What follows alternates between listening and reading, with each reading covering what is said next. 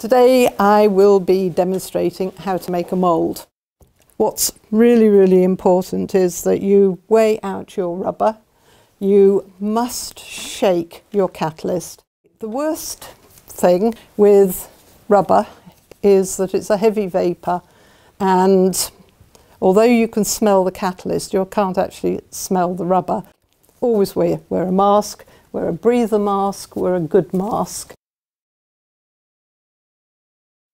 I cannot emphasize enough that you must have a really good stirred in mix.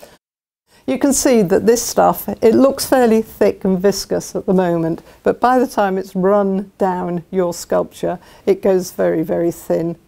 And you do the most difficult bit first. And that means that you go inside Try and do this so you can all see. Push through and then it will run. It will run out the other side. So you come in from the other side and work your brush up. So this is one of the reasons that you work with leather hard clay.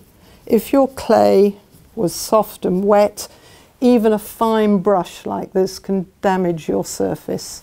Because it has no thixotropic additive, which is the thickening agent in it, essentially all of this wants to end up down here. You don't worry about that. So the first and the second coat, you have to be really careful and make sure that you're popping all the bubbles, the holes, everything has been filled. At this stage, you can leave it for 24 hours, put the second coat on, then you have um, an atmospheric seal. You know, it isn't going to react, it isn't going to dry out, it is in stasis until you want to come back to it. I'm now going to add a thickening agent and that's a thick thixotropic additive. New is strong, old is deteriorating and is not as strong. It's okay to use for your second coat because um, it doesn't go as thick as this one does. Almost thick enough, but what it's doing is it's still thin enough that it takes the detail the aim of the second coat is to A, back up your first layer, make it a bit thicker, but it's also, you're now going to be concentrating on losing the appearance of the clay underneath. At the end of your second coat, you want to see no clay. How do I know how much I've put on. I add a coloured pigment to my mix. And it's um, a silicon pigment. You cannot use a water-based product or a powder of any description. But as you can see, it really will hang on the knife. That's how it needs to be because this builds up your rubber to a quarter of an inch thick all over. You do not spread it too thin. So I am checking that I'm going up the shape. I've forced it in. I heard an air bubble then, so yeah, just as well I've gone back over it again. Forcing it in, forcing it in, not leaving holes. This will be covered completely three layers of rubber over it, quarter of an inch thick all over. This has had three coats of rubber all over it. I'm hoping that I can actually get this out as a one piece. So that's a one piece rubber and a two piece jacket. I will make sure that I have smoothed the surface down completely so that when I put the jacket on it, I know that it will lift off. Okay, So it goes from one end to the other, quarter of an inch thick. The old photographs had a surface on them and that surface is what separates these two halves. This side actually doesn't. So the next thing you always make sure is that all your cards face photograph shiny bit outwards. So following the line of my rubber, I just carry on working round and making sure again that the shiny side is always out.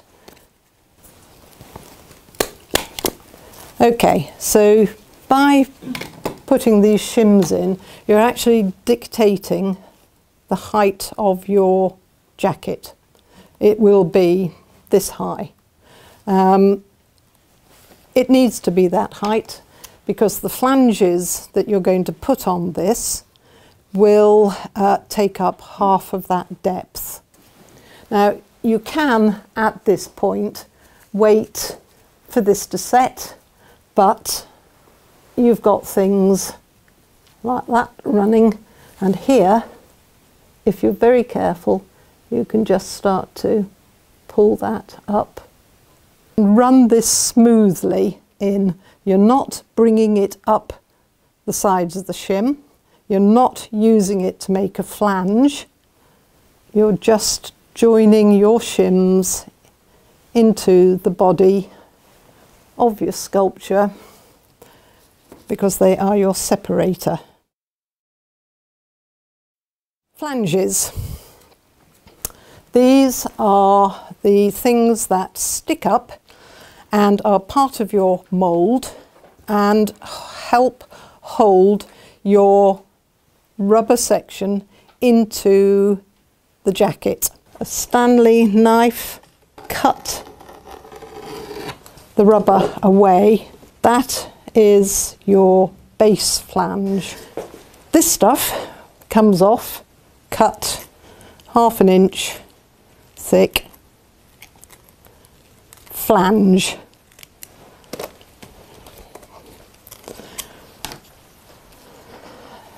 The bit at the bottom is smoother than the bit on the top.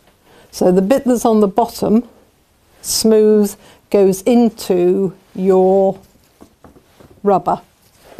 Okay, smooth side down, press in like that, and then hold it and squish it into position so that the rubber squeezes out on that side, then you know that you've got a layer of rubber underneath on your flat shims, perfectly sealed.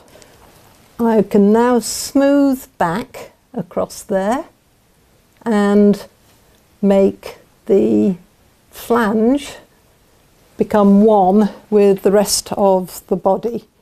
So you're smoothing one into the other. So it fits, fits nice and smoothly. The flange hits the shim, you're checking that there are no holes going down because when you paint your resin on, the resin runs vertically down into those holes and tears the rubber when you take the jacket off. That is it. You've now got shims throughout the form. You've got flanges on both sides. What you go along, trim down so that your edge is nice and smooth